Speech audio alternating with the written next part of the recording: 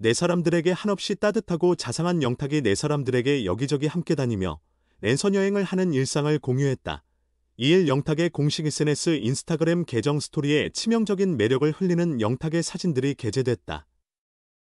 게재된 사진 속에는 museum BGM이 깔려 박물관인 듯한 풍경을 기가 막힌 구도로 찍어 눈호강을 시켜줬고 하이드 파크에서는 blue boat가 우주선인 듯 우주선을 BGM으로 깔아 같은 궤도를 돌고 돌아 넌 내게 올 테니까라는 의미를 담은 듯 내 사람들 보고 싶다는 마음이 담겨 있었고 마지막 사진에는 백조가 유유히 호수를 지나가자 꽥꽥꽥꽥 안 보내라며 목소리만으로도 사랑스러운 존재감을 드러내는 영상을 전했다. 이 사진들을 본 내 사람들은 그림이 따로 없다 랜선으로 유럽 여행 시켜주는 내 최애 어떤데 예쁘고 좋은데 얼굴은 언제 보여주는 건데 꽥꽥 안 보내 뭔데 왜 거기서도 귀여운 건데 런던에서 날아온 소식 감사 또 감사 대한민국에 없으니 진짜 완전 허전하다 같은 공기 마시고 싶다.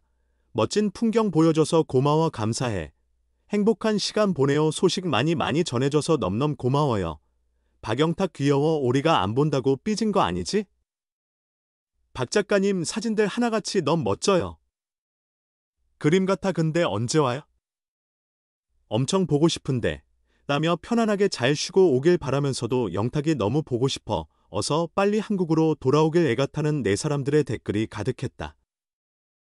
한편 다양한 음악 장르에서 활동한 아티스트들의 활약을 집어보는 뉴스의 시상식에서 못하는 게 없는 다재다능 올라운더 영탁은 주요 부분인 싱어송라이터 상, 투어 아이콘 상, 핫솔로 상 부문에서 트로피를 거머쥐며 3관왕을 차지했다.